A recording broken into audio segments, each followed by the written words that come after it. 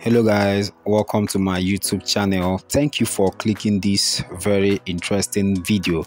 So guys i took a trip to uyo the capital city of akwa ibom state it's not the first time, neither is it the second time or even the third time that I have been in this beautiful city. This beautiful city is a, a, place where you would love to visit over again and again and again if you are not from Uyo. So try and visit this city. It's very beautiful. Now, this is the cleanest state in Nigeria.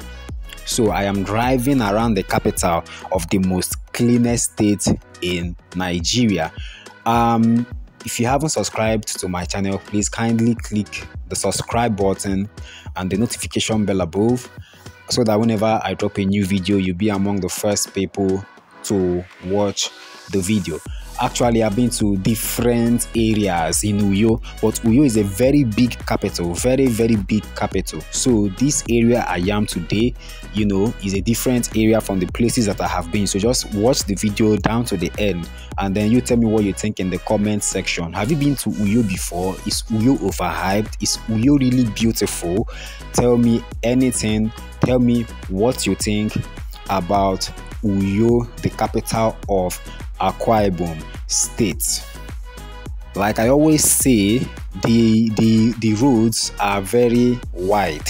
They are wide enough. They are clean. You hardly see a bad road in Uyo. Like apart from Abuja, for me, I would say I, I would say Uyo is the second place in Nigeria where they have more good roads than other states and not just roads you see trees planted everywhere. No wonder the fresh air i breathe whenever i'm in uyo is amazing.